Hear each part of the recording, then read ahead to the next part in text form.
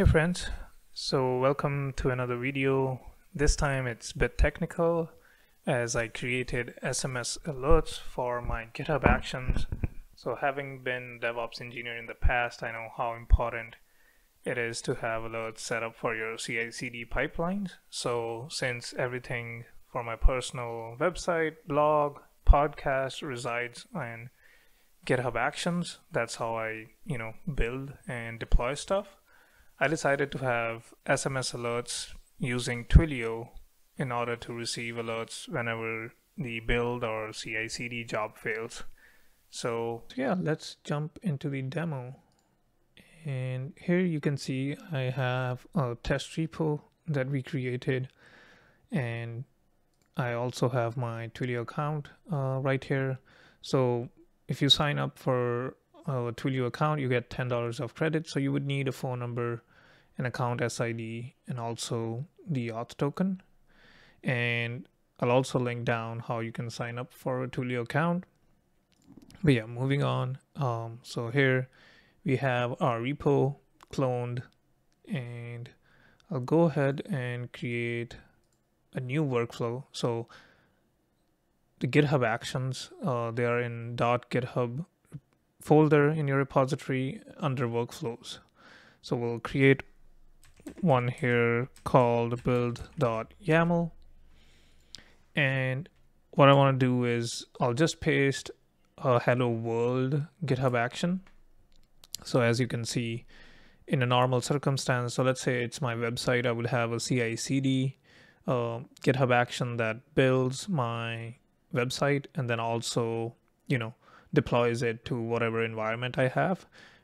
And we're trying to use a GitHub action here, but it only says hello world. It doesn't build anything or deploys anything, but it just says hello world. And what I want to do now is if we go back to GitHub Actions Marketplace, you can see there is a Twilio SMS GitHub action, which we could utilize to send a notification whenever our CI CD job fails. So this is what we'll use to set up our SMS alerts. So as you can see, it does say you need a Twilio account and you can sign up for free. You'll get $10 in credit. And then you also need a Twilio API key and a secret. So I'll link these down below because I don't want to reveal my, you know, API keys and stuff. Um, but you can see here's a simple action we have that you can create. So let's go ahead and add it under our CI/CD step that we already have. So after running our one-line script that says echo hello world, what we'll do is we'll have a job or a step. So we'll have a step that would we'll name it build alerts because it's you know alerting us about whatever the build is, and then according to the documentation or we saw in the Twilio SMS GitHub action, it uses this and then you need a from number, a to number, and then the message. And then you also need the environment. So let me just copy this. And what we'll do is we'll paste it underneath our step of build alerts. So build alerts uses Yep, that seems right. And then we have, so one thing that I did is instead of displaying my Twilio number and also my personal phone number, I've used, you know, the GitHub secrets to store those values so that since my repo is public, anybody can look up my number. So instead of, you know, displaying it publicly, I've used secrets for that too. And then also for message, what I have done is instead of just saying hello from Twilio, which we have here, I have included is GitHub job. So it would have the job name uh, from GitHub Actions, and then also the repository name along with the status of the job. So in our case, it would, if it would have failed, it will send that alert. If it has passed, it would send that alert. But the thing is, I don't need SMS alerts for any of the past jobs or successful jobs. I only need it for the jobs that have failed. So what we'll do is add a condition in our step here. So if, and then we can specify a value here, which is failure. So you can read more about this, but you can basically specify if our GitHub action fails, only then this step will run. Otherwise, this step won't run, which is what I want to achieve, right? So we have a build alerts step now, which uses, you know, Twilio SMS action that we saw in the marketplace. We have a from number, to number, a message, which includes the GitHub job ID. It also has uh, the repository and the status of the job, which would be failure in our case. And then we have the environment variables, which are again stored as secrets in the GitHub repo for the Twilio account SID, API key, and the secret key.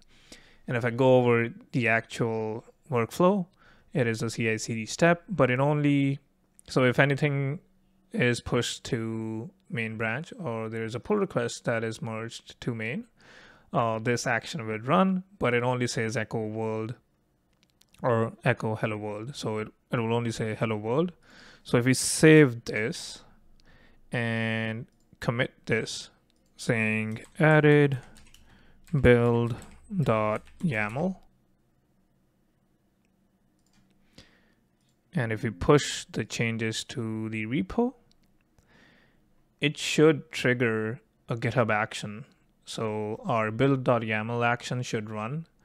We named it CI/CD step. So if we go into our repository here and go to actions, you can see it is running that CI/CD step right now. And if we see the build has passed, because it did echo hello world and I didn't receive any text message because the build passed. So what I want to do is set a status code of one, which would mean that the job has failed. So there are different exit codes that you can set in the GitHub Actions. I am deliberately asking it to fail with setting that status right now, which way I can demonstrate that I did receive a text whenever the job fails. So added exit code one. So we'll save this file, make sure we include, and we commit. And then we push our changes. So now if we look at our jobs here, under actions, we can see that it's queued and it's running that build job.